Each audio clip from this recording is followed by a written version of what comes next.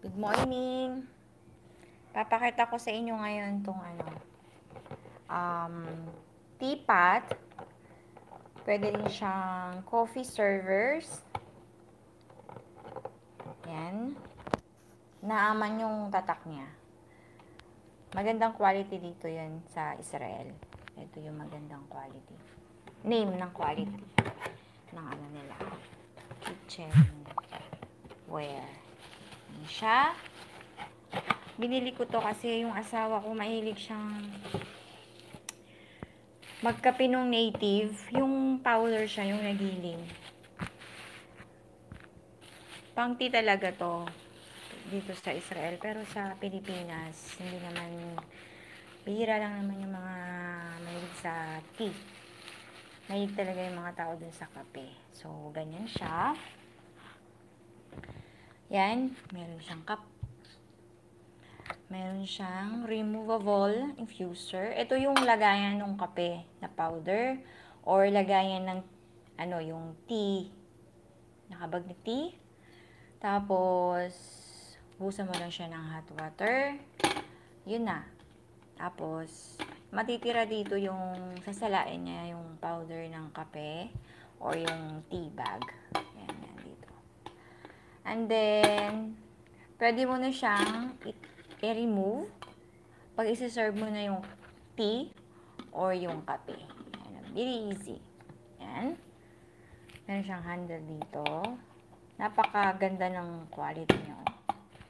Ang gaan lang siya, hindi siya mabigat. Tapos, pwede mo na siyang i-serve na ganyan. Yan lang. Hmm? Very, very nice. Ayan. Tsaka, ang ganda nung size niya.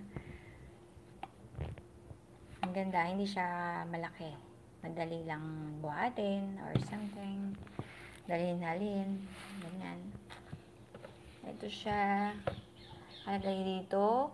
Over 70 years. 1945. Since 1945 pa yung quality, yung pangalan nila. Yung ganito.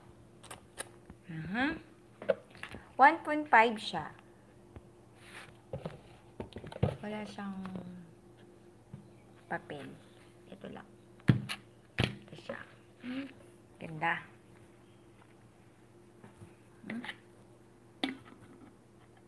May lid siya. Pag igaganyan mo siya, hindi siya magtatapon. Yan o. Siya tatapon. Kasi ano siya, maigpit. Maigpit siya. Maigpit yung dito niya. Hmm. Pwede rin sigurong timplahan to ng ng ano, ng juice. Remove mo siyang ganyan. Tapos, ah, hindi pwede lang. Laging may takip. Ayan. Ganyan, ganyan siya. Ah, dapat, na, eto, nakatama dapat yan sa ano niya. Pintuan niya. Yan. Sa kanyang bibig. Yan. Okay. Very easy to use. Meron ganito kasi yung employer ko. Very useful. Napakaganda po. Yan. Yan. Lagyan mo lang ganyan. That's it. Hindi siya sasayad sa baba ng ano. Hindi siya sasayad. Kaya napakaganda. Yan. Yan. Nag-sale kasi ito. Kaya murang-mura lang to. Hindi siya ganun kamahal. Tapos, ang ganda pa ng pangalan niya. Nag-sale kasi dahil nga siguro sa virus, pinapa-push nila yung mga product nila. Kasi matagal silang na-stock. Kailangan nila ng kita. Ayan. Yan. Yun. Meron siyang mga, ito, plastic. Para pag pinakargo mo, hindi siya mabasag. Oy, wait lang guys. Ang aking sinaing makasunog na. Nangangamoy na siya. So, yan lang. Kuhanan ko nga muna siya guys. Silipin ko lang ang aking sinaing.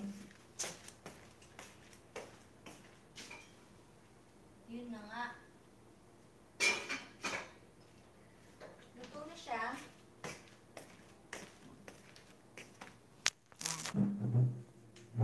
Yan. Yan. Guys, papaalam na ulit ako. Pinakita ko lang to. Kasi sobrang nagagandahan ako. Bye guys. God bless everyone. Bye.